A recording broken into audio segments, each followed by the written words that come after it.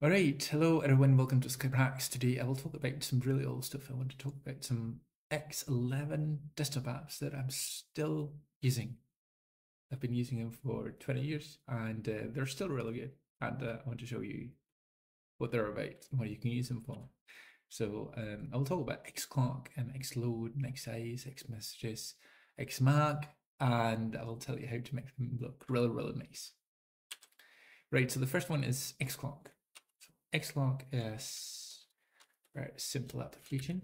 Uh, you started with Xclock. You need to accept some parameters as well to increase the font size and stuff. But this one is uh, very simple, which is nice. You can scale it to be really big there or really small or any size. You can set background for colors and you can set the color of this style inside here and many other things uh, I like to keep like this. Uh, and then I add uh, visual effects uh, with a different tool. I'll get back to that in a moment. Um, the second one I use all the time is Xload. This one. And when you start it up, it doesn't look like much. Um, it just prints out the host name here.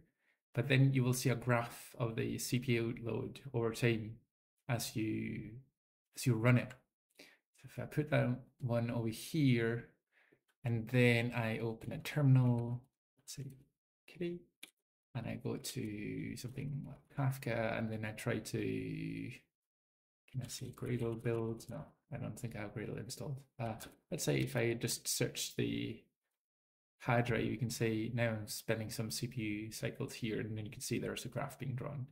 And this will then, of course, look really nice over time.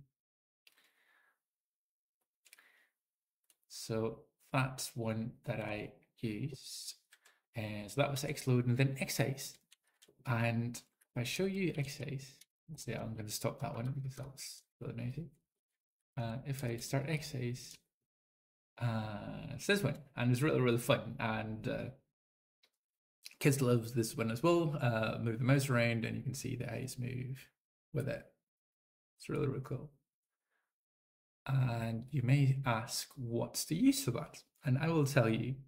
Uh, so, what I use it for. So, I have many desktops, many virtual desktops.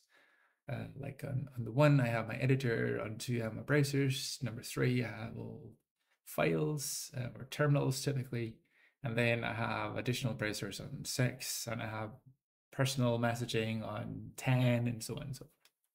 And so when I have a long running build, I compile something, say, on workspace three, then I add semicolon, let's say I can show you. Uh, so if I do like a make, and then that takes a long time, then I do Xeyes. And so, and then I switch to a different workspace. And what this does is that when make finishes, whatever the output was, whatever, you know, successful or an error, and these Xeyes will pop up on my current workspace. And then I know, all right, my, my uh, compile was done. I better check back on it. So this really, really fun, simple tool is actually really useful. Then Xmessage, uh, it, it's for spacing up uh, shell scripts a bit. And of course, they are more fancy libraries that you can use that gives you GTK um, widgets. Uh, but I find sometimes this one is just just what I need. So the operator it works like you you do something boo and then you say x x message and um and th then you get the the match just like that. You can go, okay, you exit it. So that's also sometimes really useful, really nice to add a small, small widget into something you're doing. Um, the last one I want to show you is uh, Xmag, which lets you select something, let's say here, and then you get like pixel inspection of that graphic. So if you're doing web design or graphical work, this can actually be really useful. And this is a really old tool, uh, which still still is around here. All right, so that's all, all nice and good, but it looks kind of old, right? So I have a way to make them look really nice and so simple. So what I do is that I have this thing called picom. Um, I can show you the config file. It looks this looks like this. Um, and often you add opacity, uh, like translucency to everything, active opacity. Uh, but I set that to 1.0, so that means by default I don't want any translucency at all.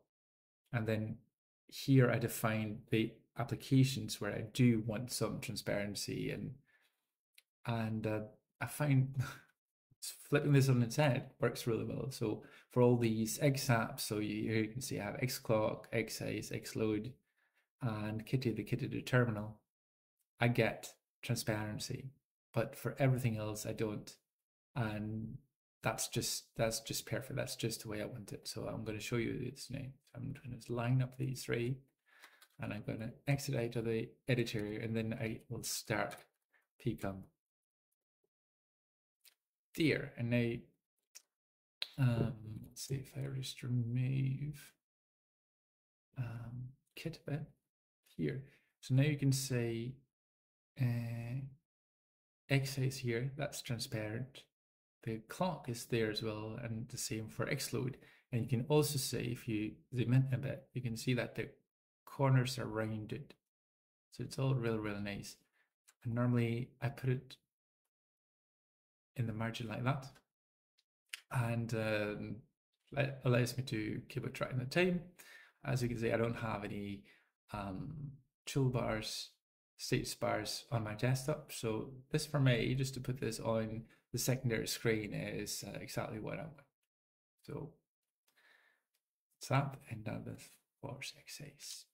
So with that, um, that's what I want to show you today. So they're really super fast, useful apps. They're available absolutely everywhere where X11 runs or Xorg, uh, Linux FreeBSD, OpenBSD. You have it.